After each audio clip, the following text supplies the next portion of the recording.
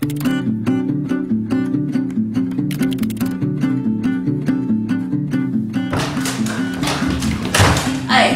what is that thing called where you're doing something, but you feel like you've already done it before? A rerun. That's right, a rerun. Okay, remember that episode where I moved out of my parents' house and went away to college? Yes. Okay, I feel really stupid saying this, but I feel like I've done that before. Like six times. Of course you have, B. You're a cartoon. You won't believe what this thing has on it. So let me guess, a transcript with everything we're saying written on it.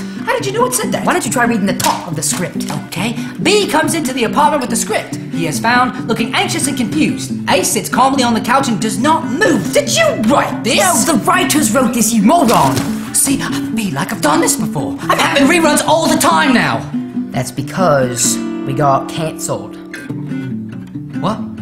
Didn't you hear? Network cancelled us. Network? A. You know I'm not religious. So what, you just think we poof appeared here one day? well, if we got cancelled, then what is this? It's a rerun. That's all we have left. Reruns, reruns, reruns. This is a rerun? Yes. So we have done this before?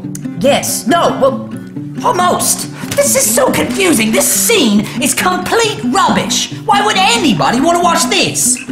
That's why we got cancelled. Oh, Yeah. right. So what now? This is where you move out your parents' house and leave for college. Oh! Right. Well, see you later, A. See you later, B.